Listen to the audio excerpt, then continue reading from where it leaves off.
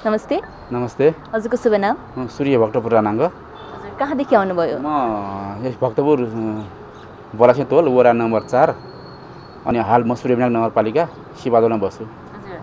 श्रेयजीले चाहिँ यहाँ नगरपालिकामा सहयोग रकमहरू लिइरहेको छ होइन? सहयोगहरू चाहिँ आइ आउने क्रम जारी छ र सहयोग चाहिन्छ भने नगरपालिका जुन सहयोग चाहिन्छ भन्ने कुरा चाहिँ कसरी थाहा पाउनुभयो? यो मैले चाहिँ मिडिया मार्फत नै थाहा भयो यो मलाई धेरै धेरै खुसी लाग्यो।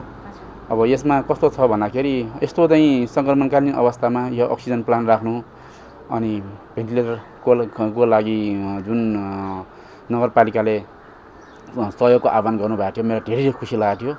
तर मलाई चाहिँ आफ्नै नगरपालिका अरूको नगरपालिका होइन आफ्नै नगरपालिका बनाउनुपर्छ आफ्नै हस्पिटल बनाउनुपर्छ भने म ढुक्क छु। हजुर तपाईँ बस्नु त फेरि श्री विनायकमा बस्नु हुँदो रहेछ होइन? त्यता पनि नगरपालिका थियो त्यता पनि आइसोलेसन सेन्टरहरू चाहिँ सञ्चालन भइरहेको अवस्थामा चाहिँ भक्तपुरकै नगरपालिकालाई चाहिँ किन छान्नुभयो? तर म यो भक्तपुर नगरपालिका म जन्मेको ठाउँ म हुर्केको ठाउँ हालसाल मात्र म उता बस्न गएको हो। बसाइ सरेको सराई त होइन घर बनाएर बस्न गएको हो। तर मलाई चाहिँ कस्तो लाग्छ भने आफ्नो ठाउँ भने आफ्नै ठाउँ जस्तो लाग्छ आफ्नै नगरपालिका आफ्नै नगरपालिका जस्तो लाग्छ।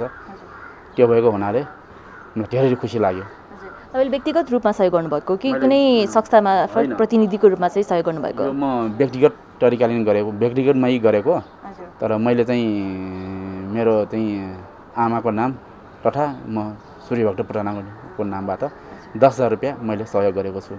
आफ्नो चाहिँ गच्छेअनुसार नगरपालिकाले जुन यो राम्रो काम गरिरहेको छ होइन नगरपालिकालाई चाहिँ के भन्न चाहनुहुन्छ?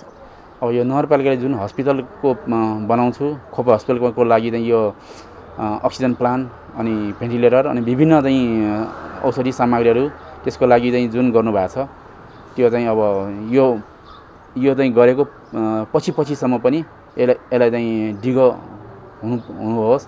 हामी चाहिँ सहयोग गर्न तयार छौँ। कुराहरू राखिदिनु भयो यहाँसम्म आएर सहयोग गरिदिनु भयो त्यसको लागि धेरै धेरै धन्यवाद छ नमस्ते।